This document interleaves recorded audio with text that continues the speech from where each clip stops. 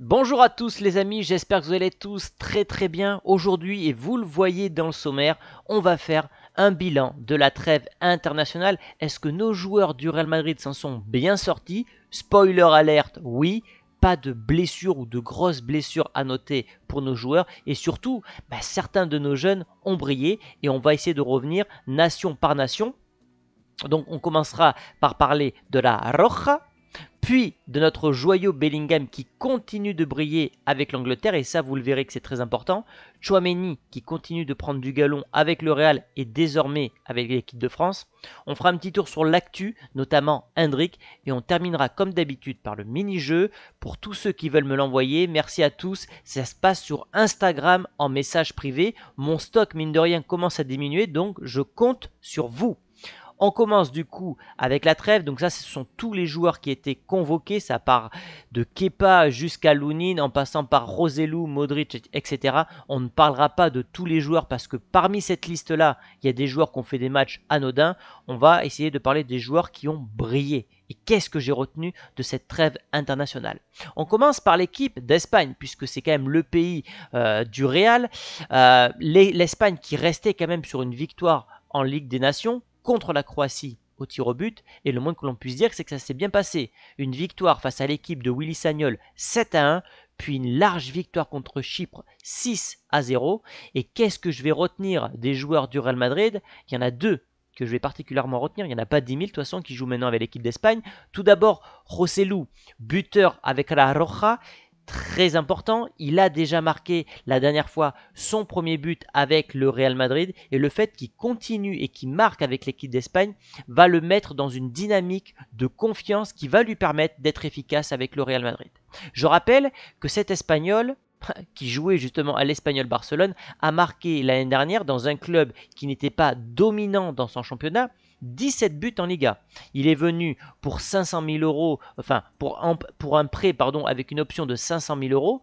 Euh, par rapport à ce que nous apportait un Mariano, je suis très content pour l'instant de Roselou. Évidemment, il n'a pas l'étoffe d'un titulaire, mais un joueur qui va nous aider et qui peut marquer sa quinzaine de buts dans l'année, ça j'y crois énormément. Donc évidemment qu'il est marqué, c'est une superbe nouvelle pour le Real Madrid. Autre très bonne nouvelle, c'est la prestation XXL de Carvaral, qui je trouve, et ça je vous l'ai dit déjà dans les débriefs du Real Madrid, son brassard de capitaine avec le Real lui donne une nouvelle dimension. Peut-être que c'était un manque de motivation, peut-être qu'il avait eu un passage à vide. Ça faisait deux saisons que je le trouvais très moyen et que je réclamais justement un latéral droit depuis le début de la saison. Je n'ai rien à reprocher à Carvaral.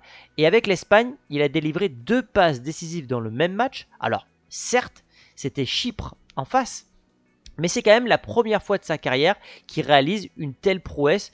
Il a marqué élan, bah oui, il est dans une superbe dynamique avec le Real Madrid et ça se confirme avec l'Espagne.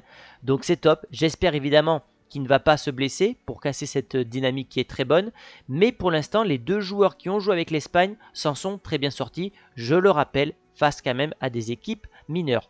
On passe désormais aux Three Lions, donc à l'équipe d'Angleterre. Le joueur qui nous intéresse, c'est évidemment Jude Bellingham. Donc il sortait euh, d'une victoire contre la Macédoine du Nord 7 à 0. Et là, ils ont eu deux matchs. Un match en Ukraine où ils ont fait un partout. Et une victoire en Écosse. On sait que c'est toujours compliqué d'aller s'imposer là-bas. 3-1. Avec notamment un but, encore une fois, de Jude Bellingham. Je peux pas mettre les extraits.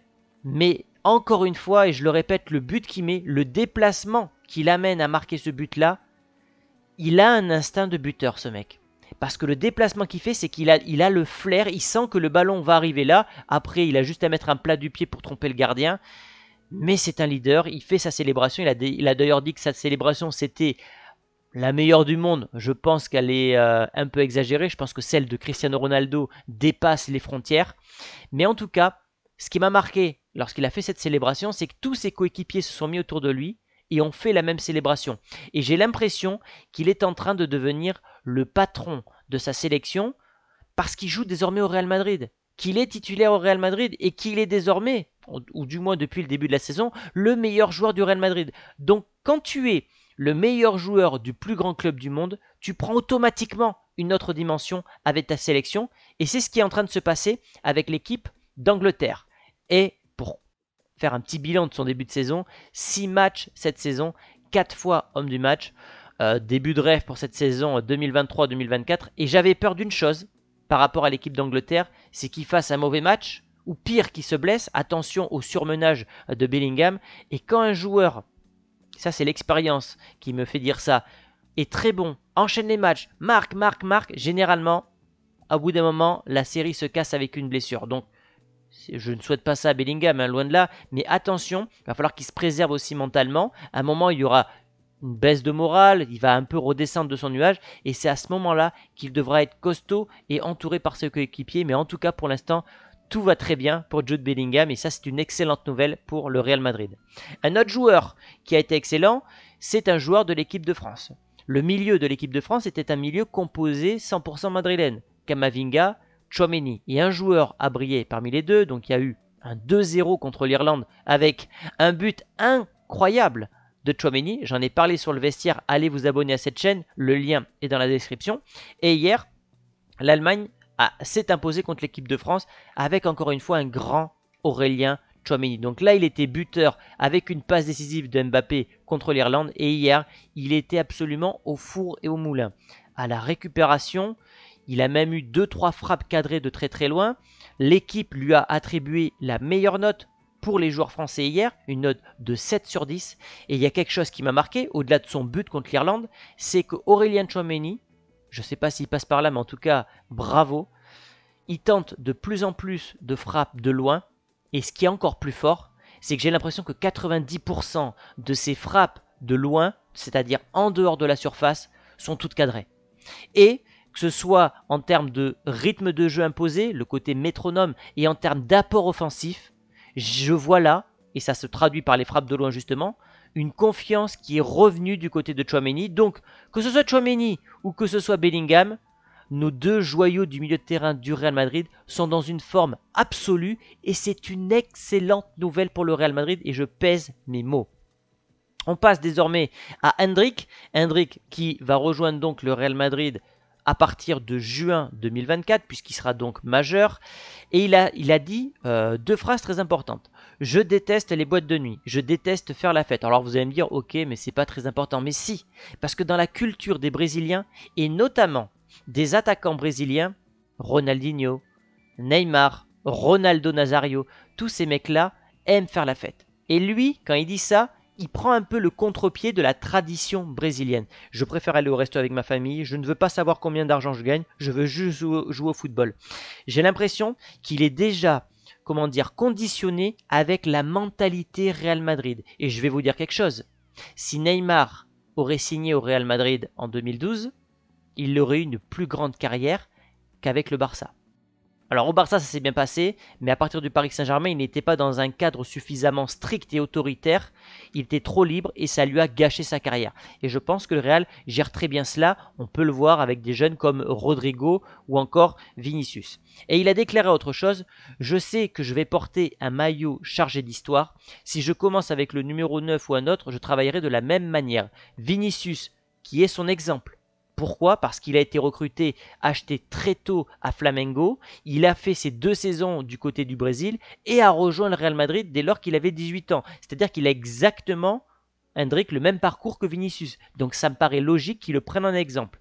Vinicius a commencé avec le numéro 28, puis le 25, puis le 20 et désormais le numéro 7, ce qui est une énorme responsabilité. D'ailleurs, en parlant de ça, petite parenthèse, c'est peut-être pour ça que Vinicius s'est blessé parce qu'il a une pression énorme. Vous regardez du côté de Manchester United, quand Ronaldo est parti, le 7 a été maudit. Et on est peut-être en train d'avoir la même malédiction, je ne pense pas avec Vinicius, mais avec le Real Madrid. On a eu Mariano, bon, pas de surprise, flop total. On a eu Hazard, qui a été le plus gros raté de l'histoire du Real Madrid. Et là, on a Vinicius qui se blesse d'entrée de jeu. Il n'était pas dans un dispositif tactique qui le mettait en avant, avec ce 4-4 de diamant mais il se blesse pendant plus d'un mois.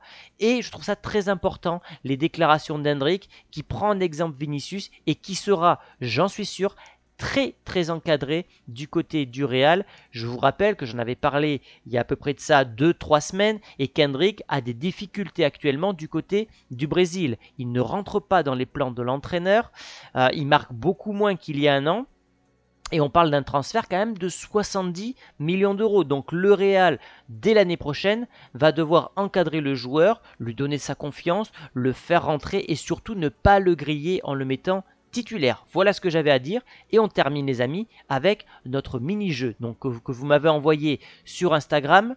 Merci à tous ceux qui le font parce que comme je le disais en introduction, bah, mine de rien, euh, vidéo après vidéo, bah, mon stock de mini-jeux, pour ne pas me répéter, est en train de diminuer. Alors envoyez-moi des mini-jeux à choix, choix A, B, C, D, c'est ce qui est le plus interactif avec les spectateurs. Donc je dois choisir la meilleure équipe parmi ces quatre choix. On a tout d'abord le Real, les Galactiques, dans le choix A. On a la version Mourinho dans l'équipe B.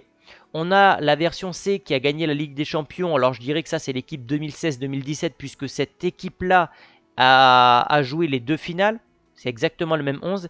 Et on a l'équipe D qui a remporté donc la Ligue des Champions en 2022 avec Benzema comme capitaine, comme leader, Courtois dans les cages, Vinicius, donc plus de Cristiano Ronaldo, plus de Ramos, etc.